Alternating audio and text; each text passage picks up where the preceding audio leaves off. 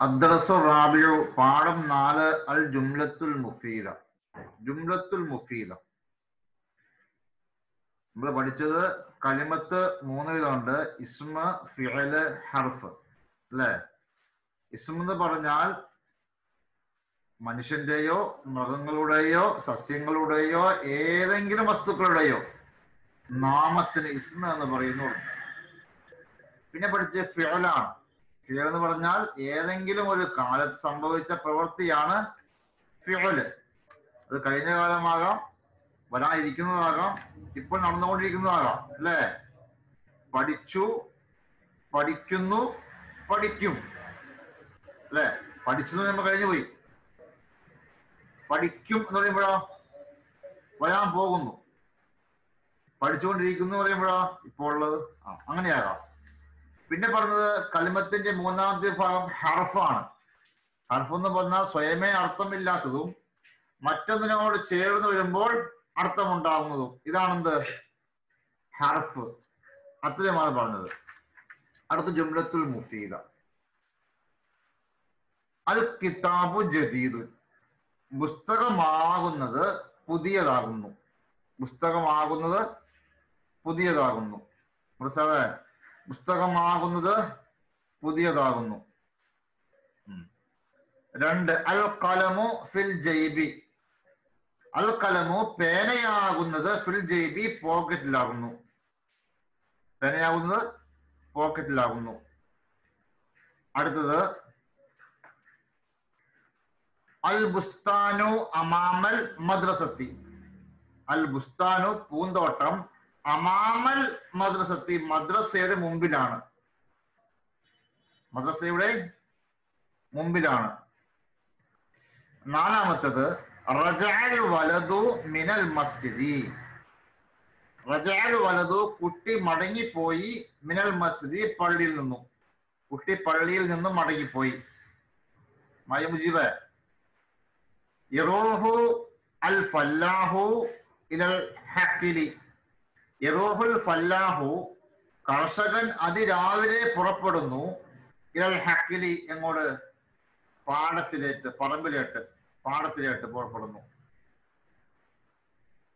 ആറാമത്തെ ഉദാഹരണം യൽഅബുൽ ഗിൽമാനു കുട്ടികൾ കളിക്കുന്നു ബിൽ കുറത്തി കൊണ്ട്.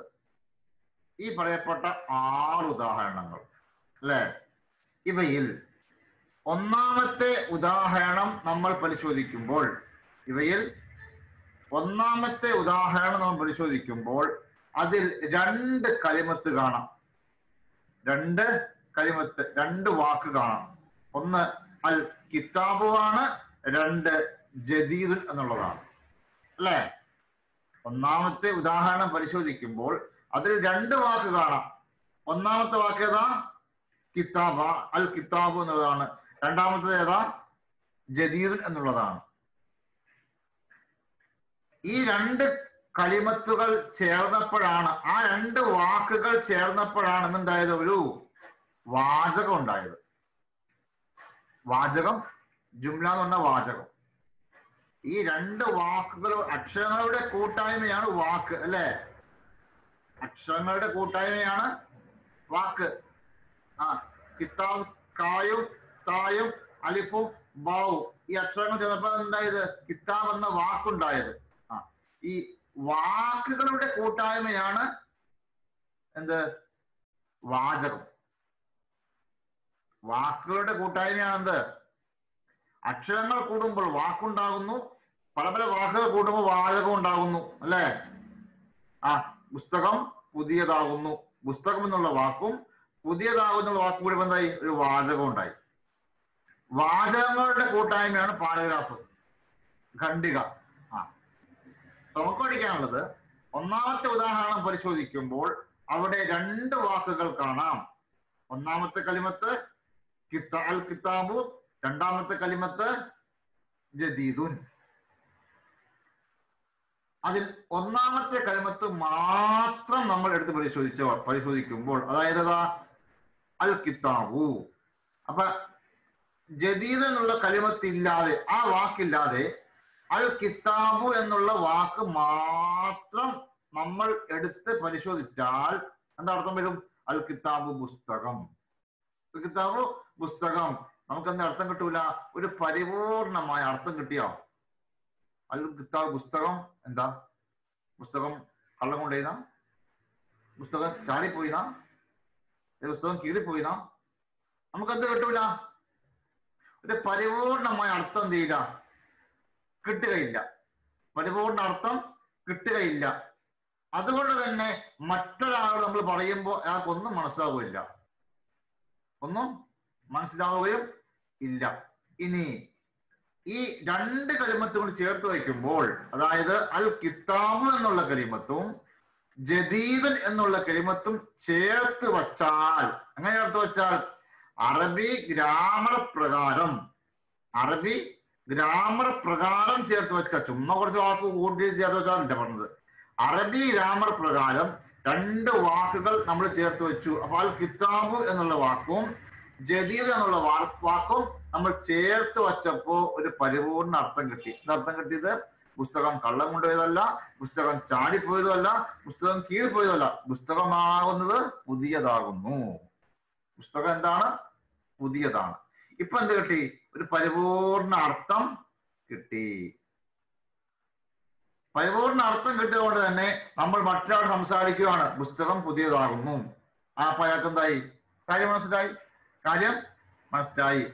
ഇങ്ങനെ പരിപൂർണമായ ഒരു അർത്ഥം നൽകുന്ന വാചകത്തിന്റെ പേരാണ് ജുംലത്തുൽ മുഫീദ. മനസ്സിലായോ? പരിപൂർണമായ ഒരു അർത്ഥം നൽകുന്ന വാചകത്തിന്റെ പേരാണ് ജുംലത്തുൽ മുഫീദ. അപ്പൊ ജുംലത്തുൽ മുഫീദ ഉണ്ടാകുവാൻ കുറഞ്ഞത് എത്ര വാക്ക് വേണം? രണ്ട് വാക്ക് വേണം അല്ലെ? രണ്ട് വാക്ക് വേണം. ഓരോ നിങ്ങൾക്ക് കിട്ടുമോ പുസ്തകമാ പുസ്തകം കിട്ടിയോ? ഇല്ല. മാങ്ങ കിട്ടിയോ? ഇല്ല സംശയമായി. മാങ്ങ പഴുത്തതാണെന്നാണോ? മാങ്ങ ചാടിപ്പോയെന്നാണോ കിട്ടണില്ല. അപ്പോ പരിപൂർണമായ ഒരു അർത്ഥം കിട്ടാൻ അഥവാ ജുംലത്തുൽ മുഫീദയാകുവാൻ കുറഞ്ഞത് രണ്ട് വാക്കുകൾ രണ്ട് കലിമത്തുകൾ വേണം. വേണ്ടേ? വേണം. വേണ്ടേ? വേണം. ആ അപ്പോ രണ്ട് കുറഞ്ഞ രണ്ട് വേണം. കൂടിയാൽ എത്രയും ആകാം. കൂടിയാൽ എത്രയും ആകാം. ഇതുപോലെ ഇതുപോലെ നോക്കി. ആ നാലാമത്തതാണ് നോക്കി? നാലാമത്തെ റജ മടങ്ങിപ്പോയി. അൽ വലതു ആൺകുട്ടി മിനൽ മസ്ജിദി പള്ളിയിൽ നിന്നും. അവിടെ എത്ര വാക്കുകളുണ്ട്? റജ അൽ വലതു മീൻ അൽ മസ്ജിദ്. എത്രയുണ്ട്? നാളിനുണ്ട് എത്രയുണ്ട്? നാളിനുണ്ട് ആ അഞ്ചാമത്തെ നോക്കി. ഇറൂഹുൽ റൂഹുൽ ഫല്ലാഹു ഇലൽ ഹക്കിലി എത്ര വാക്കുണ്ട്? ആ നാളിനോണ്ട് അടുത്ത് നോക്കി എൽ ഹബുൽ റിൽമാനു ബിൽ കുറത്ത് എത്ര ഉണ്ട് എൽ ഹബു അൽ റിൽമാനു ബി അൽ കുറത്ത് എത്ര ഉണ്ട് നാളിനോണ്ട് ആ അപ്പൊ ചുരുങ്ങിയ എത്ര വേണം? രണ്ടെണ്ണം വേണം. അധികരിച്ചാൽ എത്രയും ആകാം. അധികരിച്ചാൽ എത്രയും ആകാം. അപ്പോ ജുംലത്ത് മുഫീല എന്ന് പറഞ്ഞാൽ എന്താ അർത്ഥം മനസ്സിലായത് എന്താ മനസ്സിലായത്? പരിപൂർണമായ അർത്ഥം നൽകുന്ന ഒരു വാക്കുകളുടെ കൂട്ടായ്മയാണ് എന്ത്? ജുംലത്തുൽ മുഫീദ. ജുംലത്തുൽ മുഫീദ. അപ്പൊ ജുംലത്തുൽ മുഫീദ ഉണ്ടാകുവാൻ കുറഞ്ഞത് രണ്ട് വാക്കുകൾ വേണം. ഒരു വാക്ക് കൊണ്ട് ജുംലത്ത് മുഫീദ കിട്ടുകയേ ഇല്ല. കിട്ടോ കിട്ടുകയില്ല. കിട്ടുകയില്ല. എന്നാൽ നോക്കി ഉക്തുബ്. എന്താ എന്താ എന്താ വായിച്ചേ? ഉക്തുബ്. നീ എഴുതുക. ഉക്തുബ്. കണ്ടോ? ഒമ്പതാം പേജിന്റെ അവസാനത്തെ വരി കണ്ടോ? ഉക്തുബ്. ഉക്തുബ്. ആ കണ്ടു. ഉക്തുബ്. എത്ര വാക്കുണ്ട്? ഉക്തുബ് എത്ര വാക്കുണ്ട്? നാളെ നാളെ ഉക്തുബ് നാല് വാക്കുണ്ടോ? ഒരെണ്ണുള്ളൂ നാല് അക്ഷരങ്ങൾ കൂടിയപ്പോൾ ഒരു വാക്കായതാണ്. അല്ലേ? നാല് അക്ഷരമുണ്ട്. ഉ തു ബ്. ആ ഇതെല്ലാം ഒറ്റ വാക്കായേ ഉള്ളൂ. ഉക്തുബ് പോലെയുള്ള ഉക്തുബ് പോലെയുള്ള പദങ്ങൾ കലിമത്തുകൾ പദങ്ങൾ വാക്കുകൾ എന്താണ്? ജുംലത്ത് മുഫീദയാണ്. ഏ ഉക്ത് പോലെയുള്ള വാക്കുകൾ എന്താണ്? ജുമൽ മുഫീദയാണ്. കുറച്ചു മുമ്പ് പറഞ്ഞത്? ഒറ്റ വാക്ക് കൊണ്ട് ജുമലത്ത് മുഫീദ ഉണ്ടാകൂലാണ് ഉണ്ടാകൂലാണ് പക്ഷെ ഇപ്പൊ പറയാണ് ഉക്ത് ഒറ്റ വാക്കുള്ളൂ പക്ഷെ എന്താണ്? ജുമൽ തൗഫീദിയാണ് അങ്ങനെ ആയത് കാരണം കാരണം ഉക്തുബ എന്നുള്ളത് രണ്ട് പദമാണ്. ഏ ഉക്തുബ എന്നുള്ളത് രണ്ട് വാക്കാണ്. നോക്കുമ്പോ ഒന്നുള്ളൂ. രണ്ട് വാക്കുണ്ട്. എന്താ ഉക്തുബിന്റെ അർത്ഥം? ഉക്തുബ് നീ എഴുതുക. എന്താ അർത്ഥം? നീ എഴുതുക. അപ്പൊ എത്ര വാക്കുണ്ട്? രണ്ടുണ്ട് ഒന്ന് നീ അടുത്ത് എഴുതുക അപ്പോ ഒന്നാമ രണ്ട് വാക്കുകൾ അവിടെ ഉണ്ട്. ഒന്നാമത്തെ വാക്ക് നമ്മൾ കാണുന്നത് വാക്ക് തന്നെ. എന്താ ഉക്തുബ് എന്ന വാക്ക് തന്നെ?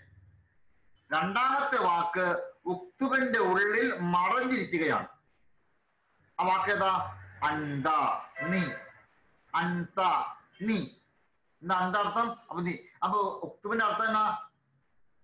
അന്ത ഉക്തുബ് എന്നർത്ഥം.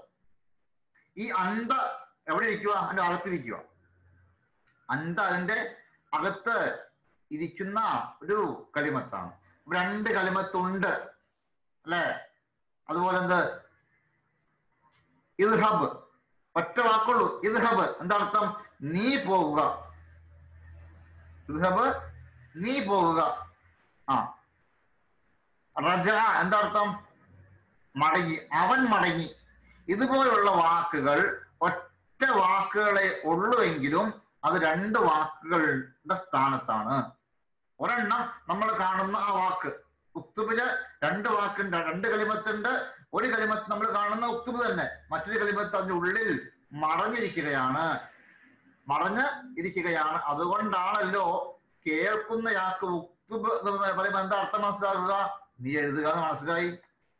പരിപൂർണ അർത്ഥം കിട്ടിയതുകൊണ്ടാണ് അതൊക്കെ മനസ്സിലായത്. അല്ലേ? പരിപൂർണ അർത്ഥം കിട്ടിയത് കൊണ്ടാണ് ഉത്തുബ എന്ന വാക്കിന്റെ അർത്ഥം അറിയാവുന്ന അർത്ഥം അറിയാവുന്ന ഒരാളോട് നമ്മൾ പറയാണ് ഉക്തുബ് എന്ന് പറഞ്ഞു. അപ്പൊ അയാൾക്ക് മനസ്സിലായി?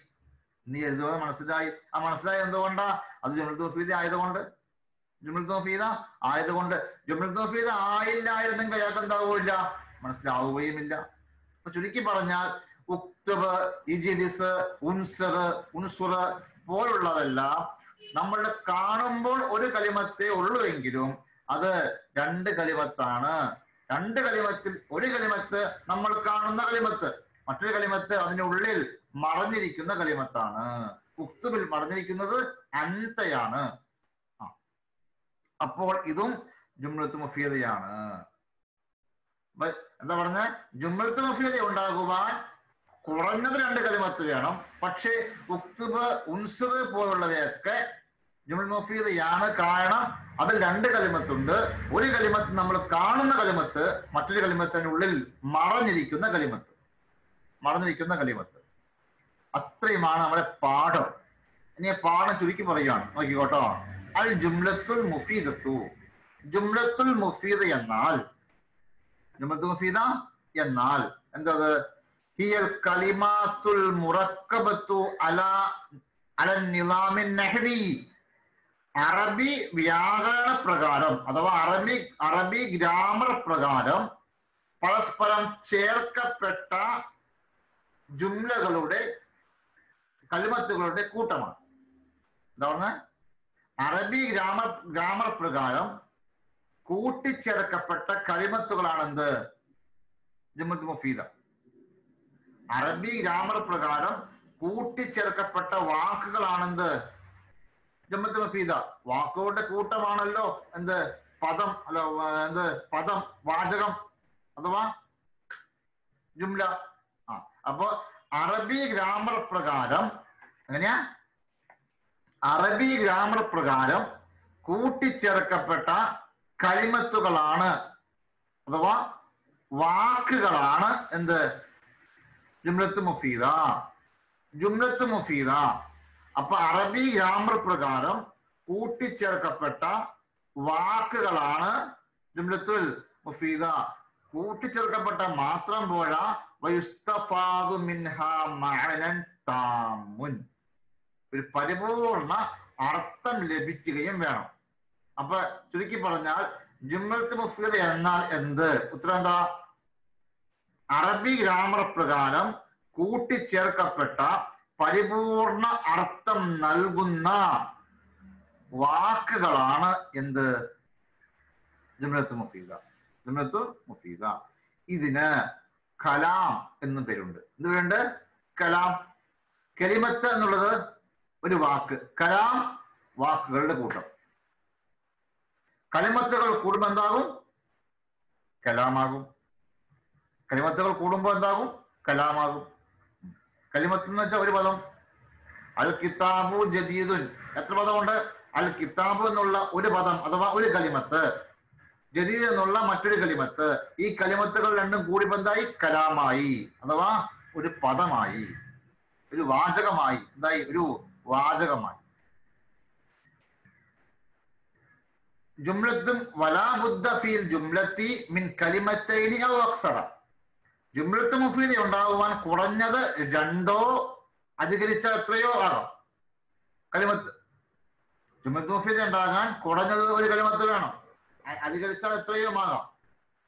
ഒരു കലിമത്ത് കൊണ്ട് ജുംലത്ത് മുഫീദ ലഭിക്കുകയില്ല ഉണ്ടാവുകയില്ല. ഒരു കലിമത്ത് കൊണ്ട് ജുമത്ത് മുഫീദ ഉണ്ടാവുക ഇല്ല. പക്ഷേ ഉക്തുബ് പോലുള്ളത് ഒരു കലിമത്താണെങ്കിലും അത് രണ്ട് കലിമത്താണ്. ഒരു കലിമത്ത് നമ്മൾ കാണുന്നത് മറ്റൊരു കലിമത്ത് അക അകത്ത് മറഞ്ഞിരിക്കുന്നത്. അകത്ത് മറഞ്ഞിരിക്കുന്നത്. അപ്പൊ അതാണ് നമ്മുടെ പാഠം. ഇനിയുള്ളത് അതിന്റെ എക്സസൈസ് ആണ്. അത് നമുക്ക് അടുത്ത ക്ലാസ്സിൽ പഠിക്കാം. ഏഹ് അപ്പൊ ഇത്രയും പാഠം നിങ്ങൾ ശരിക്കും പഠിക്കണം. ഇത് പഠിച്ചു കഴിഞ്ഞ് നമുക്ക് അടുത്ത പാഠം എടുക്കാം.